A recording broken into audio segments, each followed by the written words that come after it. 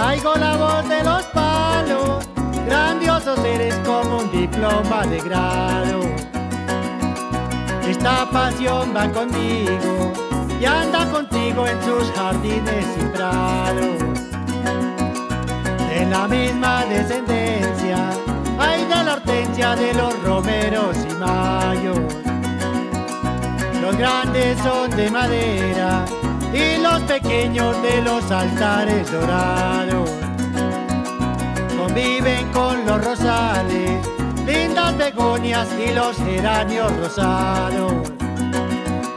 Todos comparten la tierra y el agua dulce que usan en los poblados.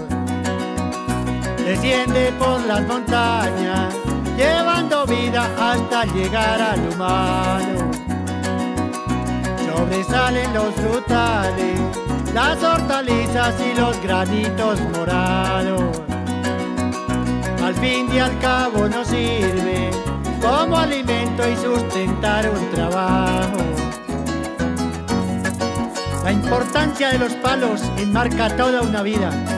El capricho de darles voz es para tomar más conciencia y apreciar con fundamento las riquezas que tenemos, la necesidad de compartirlas demostrando que podemos.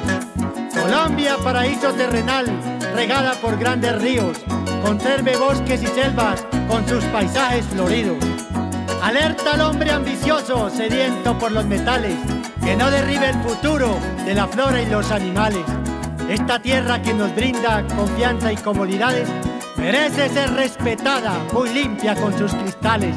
Defendamos su tarea sembrando muchos trigales, que brille siempre en la mesa la bendición, el agua y que nunca le falten los panes.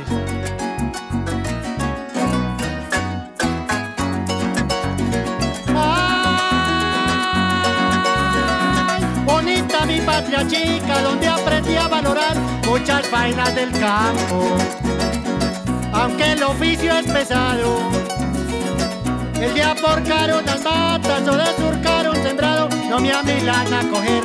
El asado no el arado, cuidar cultivos de flores, las cementeras y mangos, las hierbas tienen poder, alienta y hace el milagro, el monte sabe tener, la hierba buena y el apio, todo esto causa saber, y entre palmeras cabalgo, es necesario creer,